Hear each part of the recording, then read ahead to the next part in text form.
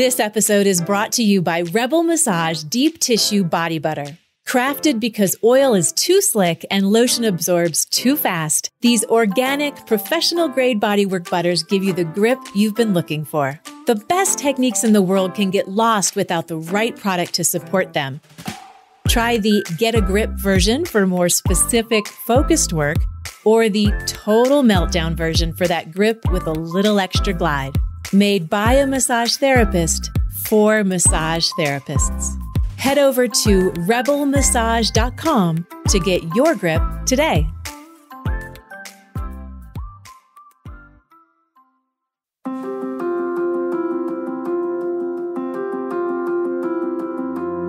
Hi, my name is Allison Denney, and this is the Rebel MT podcast, where you'll hear me forcibly colliding the worlds of anatomical jargon and humor. I believe that when you know your anatomy, the what, and you know your physiology, the how, the techniques will follow. But the loads of Latin and the gobs of Greek can make a cranium convulse. It is a little overwhelming to dip your toe into the sea of anatomical knowledge, only to find that it is a bottomless ocean. You are smart, but this is intimidating. You will get there eventually. In the meantime, let's look at things differently so that you will actually want to take a swim, or at least hop on a boat and take a peek at what's under the surface.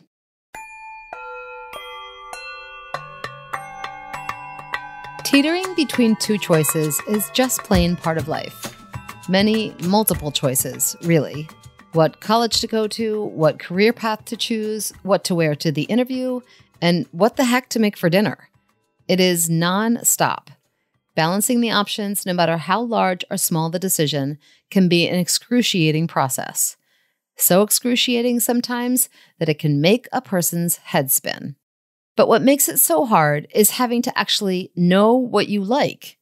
I mean, sure, some things are easy ice cream, coffee, coffee ice cream. But some things, not so much.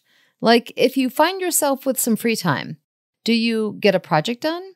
Do you tackle that pile of laundry that is haunting your closet? Do you get outside and move your body? Do you make some social plans and reconnect? Or do you blow it all off and Netflix or Instagram or TikTok and chill or rest or hang or whatever? These decisions are not so easy. A moment like this begs the question What is it that you really want to do? What is it that you need to do? Should you go left or right?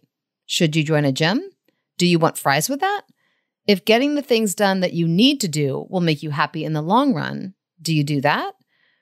Do you even have the energy to make that happen? Or do you just need a day to completely check out?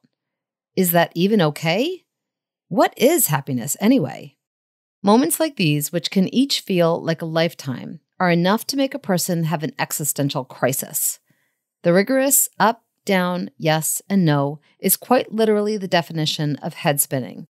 And a head can take only so much spinning before it glitches and decides it's just going to do whatever it wants to do, and we no longer have a say in it. The downward spiral of indecision is a dark one. Beyond the lack of character growth we would have created with clear, decisive action, our physical bodies begin to feel the pain of the back and forth. Not only does anxiety and sleeplessness begin to creep in, but the soft tissue in our bodies react. They form mini protests to stop all the chaos. Our bones begin to grow weary from being underprepared. Our fascia begins to clamp down out of the fear of the unknown, and our muscles, quite literally, decide to take over. With the nodding yes and shaking no and tilting our heads to the side in uncertainty, all of the muscles of the neck that are tasked with moving the skull in said directions get exhausted. And the skull, being the bowling ball that it is, does not make it easy on those neck muscles.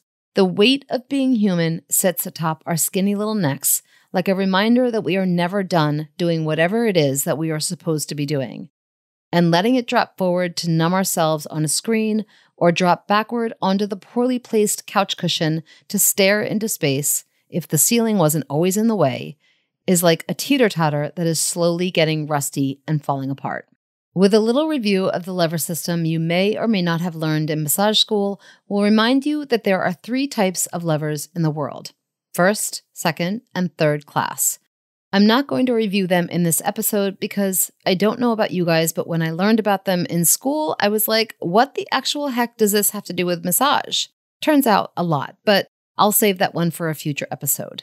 I will remind you, though, that one of them, the first class, is like an actual seesaw. The base is in the middle part of the plank of wood, and the seesaw tilts to whichever side has the bigger kid on it. In technical terms, the base is the fulcrum, the bigger kid is the effort, and the smaller kid is the load. The neck and head have the same system going on. If you can picture the cervical vertebrae to be the fulcrum or base, and then the bigger kid switches between the anterior and posterior neck muscles. When we look down, the lighter kid is sitting on the back of the skull, and when we look up, the lighter kid is sitting on the chin.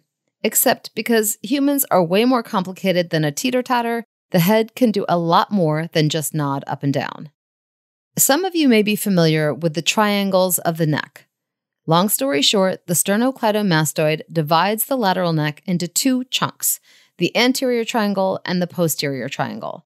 And if we look at the posterior triangle, bordered by the SCM in the front, the trapezius in the back, and the clavicle at the bottom, we've got the perfect teeter totter base.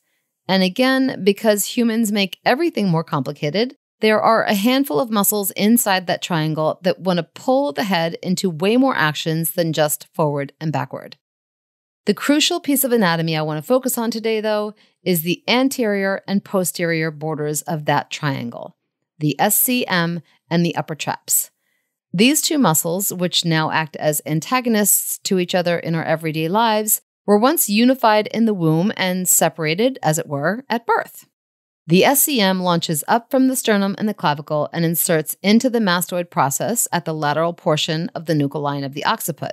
Conversely, the traps originate at the external occipital protuberance, lovingly known as the EOP, and the medial portion of the nuchal line of the occiput, among a host of other soft tissue and bony landmarks that bring it down the spine. It then drops down and inserts onto the scapula and the clavicle. But it is the insertion of the SCM and a portion of the origin of the traps that are most notable. The ridge at the base of the skull is called the nuchal line of the occiput. Side note, there is a superior one and an inferior one, but the bigger point is this line goes from the center of the back of the skull, the EOP, and extends all the way out to the mastoid process, which is the tiny handhold dropping down from the skull behind the ear. The traps have taken over the back half of that line, and the SCM hangs on to the front half. And if you remember that connective tissue has no disconnect, where these two muscles converge has no separation. They were, indeed, actually one unit of soft tissue in the womb. Then they divided in development, like a curtain at a play, to reveal the deeper layer of muscles the scalenes, the levator scapula, the splenius capitis, and the semispinalis muscles, which act like Punch and Judy, pulling strings and wreaking havoc. Back to the curtains, though. The SCM now lives at the front of your neck and pulls the head to move it forward and down, and the traps now live at the back of your neck and tugs at the head to lift it up and back. You can start to see how these muscles and the structure as a whole is a lot like a seesaw. A highly complicated, very unstable seesaw, but a seesaw nonetheless. Let's turn our focus to the decision making process of how to work with this teetering madness when it creates an issue for your client.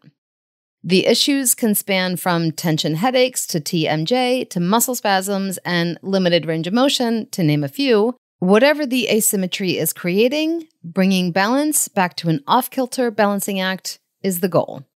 Starting off with your client supine, focusing, let's say, on the left SCM, Use your right hand to cradle the head and laterally tilt it gently to the left.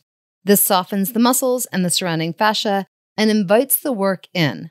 With the soft thumb and the side of your first finger, compress into the belly of the muscle and slowly work your way up and down, feeling for areas of tension and holding patterns. When you locate something, hold on with a little more pressure and use your right hand to guide the head to the right, adding in a slight rotation to accentuate your work, in the same way that a live play uses lighting to emphasize a particular scene.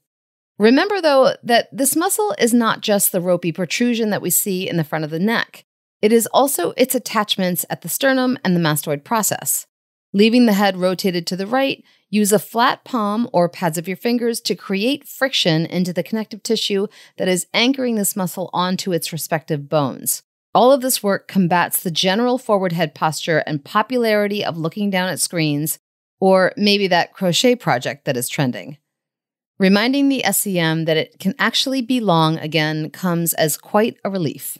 Turning your client on their side, switch your focus to the upper traps. Have your client slide to the side of the table closest to you so that their back is close to the edge of the table. Again, focusing for the sake of example on the left side of the neck, stand at your client's back, lift their left arm up away from their torso, place your arm under theirs, and cup your left hand onto the front of their shoulder. This allows you to move the insertion attachments of the traps while you do your work. Start by gently pulling their shoulder down away from their ear, and at the same time, use your right hand to work up the posterior neck. You can use your fingers, knuckles, or thumbs here, keeping in mind that the posterior neck muscles are far more abundant and ready for a little more aggressive approach. With the movement that you are creating in the shoulder, at the same time, have your client slowly tuck their chin to their chest while you slide up their upper traps with your right hand. This work is more focused on the superficial layer of fascia than the muscle fibers themselves, the fascia here envelops the traps and has begun to clamp down in an effort to hold the head up from falling into that trending crochet project. Using deep gliding strokes, coupled with the passive movement of the client's shoulder and the active movement of their head, frees the muscle tissue from the surrounding fascia and reminds the traps that they do actually have a say in what the head does. The truth is, it takes a lot of work to know how to make a decision. It involves knowing all the implications of each step you take for your clients, the never ending battle between yes and no begets a breakdown of the most important seesaw in the world. And for you as a body worker, it involves understanding how the work you do can best restore that balance. For everyone, though, the choices will never stop coming. And that is a good thing. What is most important ultimately is that we hone the skills to navigate them with ease. And here we are, the end of the episode. Thank you to the extraordinary crew over at ABMP for helping me get my words into your ears. And if you want to get any of your words into my ears, or more accurately, into my brain via my eyeballs from a computer screen, drop me a line at rebelmt at abmp.com. That's R E B E L M T at abmp.com. I always want to hear your questions, comments, suggestions, or salutations. Also, if you're interested in checking out anything else I'm doing, Head over to rebelmassage.com where you will find all sorts of fun things to click on, like homemade organic products for your practice, cool links to continuing education classes, thoughts I have typed up and posted here and there, and other Rebel Massage dabblings. Members are loving ABMP 5 Minute Muscles and ABMP Pocket Pathology, two quick reference web apps included with ABMP membership. ABMP 5 Minute Muscles delivers muscle specific palpation and technique videos, plus origins, insertions, and actions for the 83 muscles most commonly addressed by bodyworkers. ABMP Pocket Pathology, created in conjunction with Ruth Werner, puts key information for nearly 200 common pathologies at your fingertips and provides the knowledge you need to help you make informed treatment decisions. Start learning today ABMP members log in at abmp.com and look for the links in the featured benefits section of your member homepage. Not a member? Learn about these exciting member benefits at abmp.com slash more.